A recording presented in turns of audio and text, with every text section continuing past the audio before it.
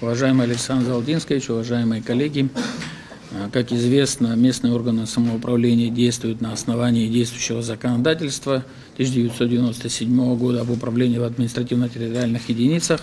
Там четко расписывается на примере 25 статьи, что в администрацию могут входить структуры, значит, администрации, которые ведают вопросами там, экономики, здравоохранения, культуры, образования, а, молодежной политики и спорта. Вот. Ну, там же, в этом же законе, статье 4, также указывается о том, что руководители этих подразделений, ну, подразделений или структурных составляющих являются должностными лицами администрации или города или районов. В связи с этим, углубившись в этот вопрос, мы предприняли определенные действия. То есть на момент, значит, э, когда мы стали углубляться в этот вопрос, оказалось, что управления, которые входили в структуру администрации города, Сухом э, являлись юридическими лицами. Проанализировав все, мы пошли на этот шаг. На наш взгляд, это было законно. Ликвидировали управление. На настоящий момент пять управлений ликвидировано. Это управление жилищного хозяйства, коммунального хозяйства, управление архитектуры, управление экономики и управление транспорта. Значит, ну, кое-какие преобразования провели в том плане, что объединили э, значит, коммунальное управление с жилищным управлением, сделали из него департамент жилищно-коммунального хозяйства, вот. ну и отдельные департаменты экономики, транспорта и так далее. В настоящий момент идет процесс ликвидации управления здравоохранения, значит, э, управления культуры и образования.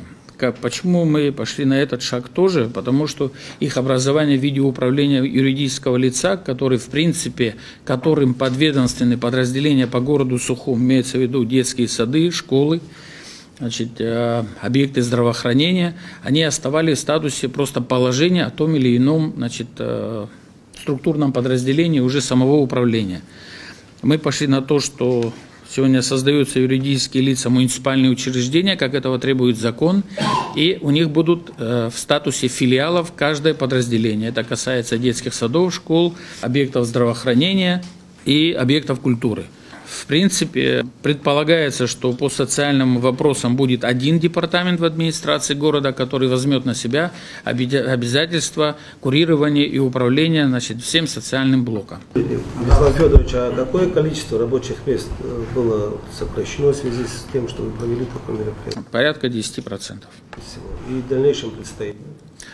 Ну, у нас сейчас в данный момент цель не сократить большей частью, да, там большей частью, ну, оптимизировать, наверное, так можно сказать, и в основном, значит, это делается для того, чтобы привести с юридической точки зрения в соответствии с действующим законодательством.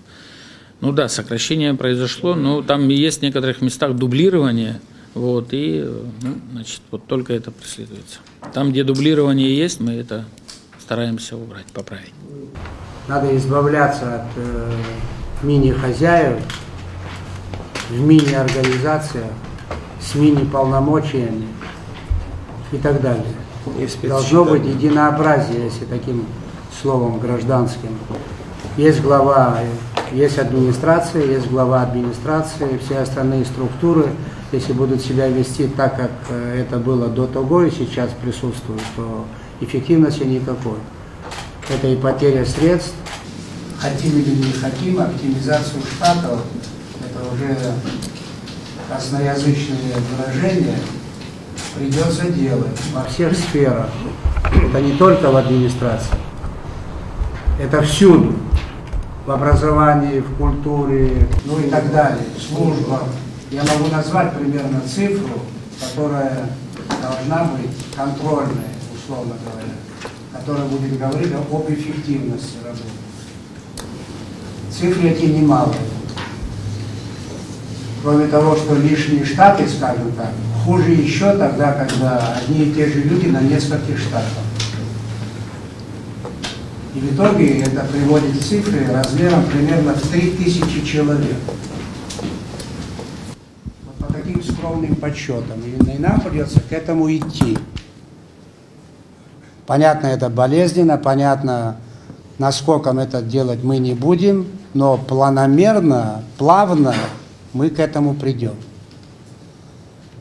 У нас даже в этом году цифра 400, да, Владимир Валерьевич? Да, 400. Цифра 400. по районам. Вчера вы были где? Владимир. Валерьевич? Ворчал. До этого Гагра. Гагра, Будаута. Надо будет еще раз пообщаться, потому что непонимание, оно присутствует реально. Также Да, совершенно верно. болезненно, но придется перетерпеть. Придется перетерпеть. Если вы меня убедите, что в республиканской больнице 800 человек работает, или сколько, 890 Штатных единиц. штатных единиц, 890. Хорошо живем, однако. Ну, придется пройтись и посмотреть, так это или не так.